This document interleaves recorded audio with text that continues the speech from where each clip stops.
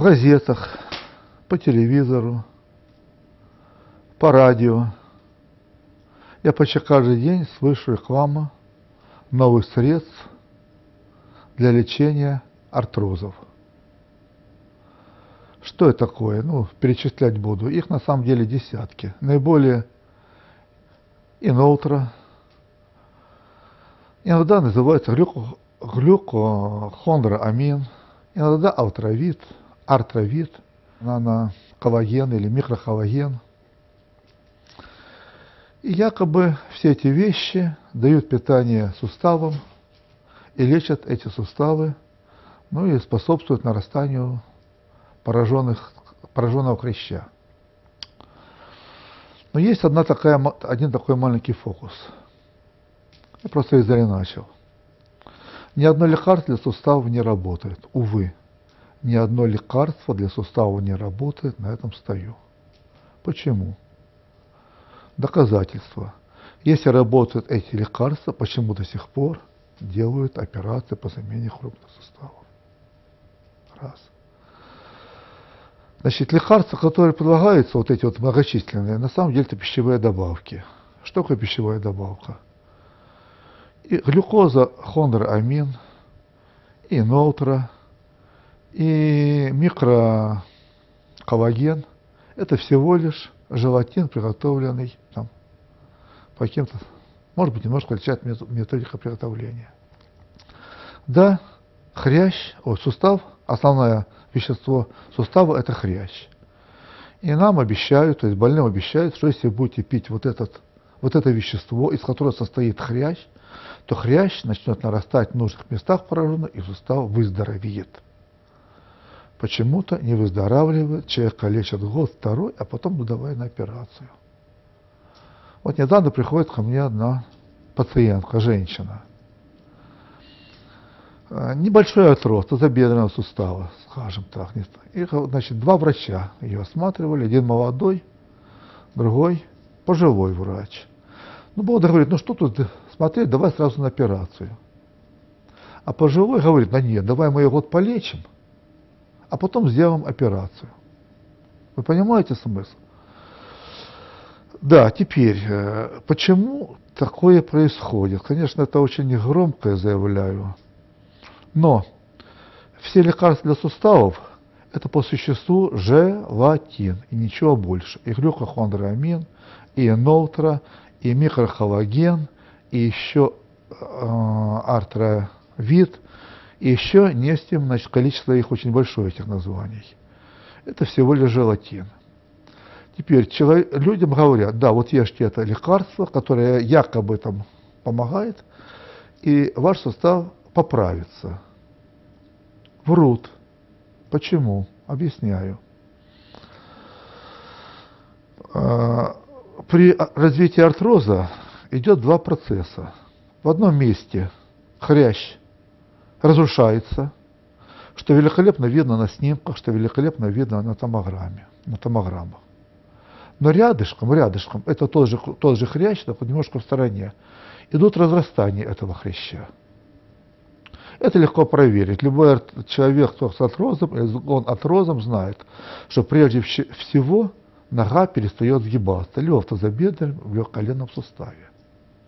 А теперь подумайте, ну, те, кто слушает, потенциальные пациенты или больные.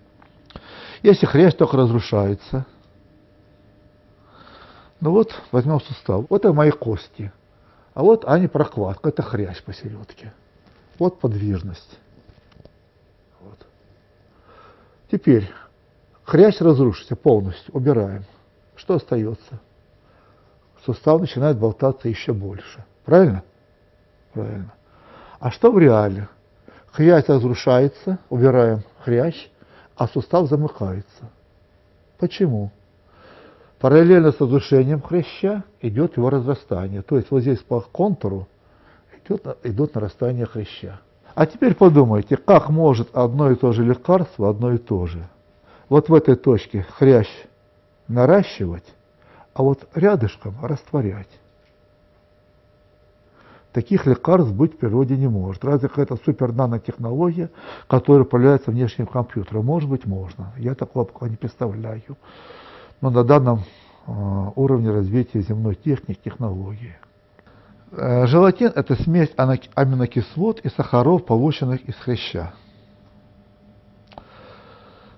И якобы эта штука восстанавливает. Но дело в том, что нормальный человек с пищей каждый день получает веществ, необходимых для построения хряща, в вполне нормальном количестве. Волосы, ногти и кожа постоянно растут, отшелушиваются. Это тот же, то же вещество, что бы там ни говорили. Дальше. На самом деле есть некоторые лекарства, лекарственные средства, которые способствуют росту хряща. И их пытались и пытаются иногда вводить в сустав. Что при этом происходит?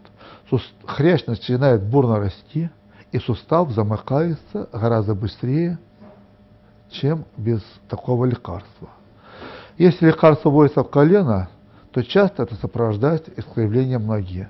Нога может, ноги могут появиться наружу, внутрь, скобками. Представляете, такими скобками, вот, как кавычки, вот такие ноги могут быть. Градусов до 45 я встречал.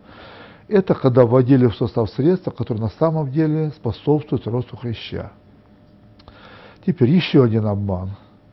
Я неоднократно видел по телевизору рекламу лекарственных средств, якобы лекарственных средств для лечения сустава. На, э, по телевизору показывают колено в разрезе, и мазь якобы проникает, значит, молекулы мази проникает под кожу, проникает в суставную сумку, проникает в сустав и ремонтирует хрящ. Полный бред. В суставную сумку никакое лекарство не проникает. Даже если это называется нанотехнологиями, то, что сейчас модно. Интересную вещь я встречал в лечении сустава. Тоже многие, многие на это ловятся. Некто, иногда идет реклама, рекламируется кальций, кальций для лечения сустава. Да, да, да, да, надо пить кальциевые продукты э, для лечения. Почему? При развитых артрозах, ну, скажем, коксартрозе, гонартрозе, там, где хрящ полностью разрушен, начинает разрушаться кость. И вот, значит, производители кальциевых препаратов заявляют, вот видите, у вас разрушается кость. Кость э, состоит в основном из кальция. Вот пейте кальциевые препараты, кость будет у вас перестанет разрушаться это тоже сказки. Дело в том, что даже при очень высокой степени э, остеопороза, когда кость теряет кальций, суставы могут быть полностью в порядке. Великолепные, шикарные суставы. И суставы могут быть полностью разрушены при очень, при великолепном, при, при великолепном качестве кости. Объясняю. Кость сама по себе пористый, твердый, жесткий материал – ну, что-то вроде хорошего кирпича или, или бетона. Вот, ну, домохозяйки знают. Кость от стирания предохраняет только тонкий слой хряща. Если хрящ разрушен, кость начинает соприкасаться с костью, при любой физкультуре идет очень-очень быстрое разрушение кости. Пей кальций, не пей, есть остеопороз, не есть это все равно, что тереть два куска кирпича друг по другу. Дальше. В литературе попадается противоположный способ лечения суставов. Нужно препараты, которые вводят кальций из организма. Почему?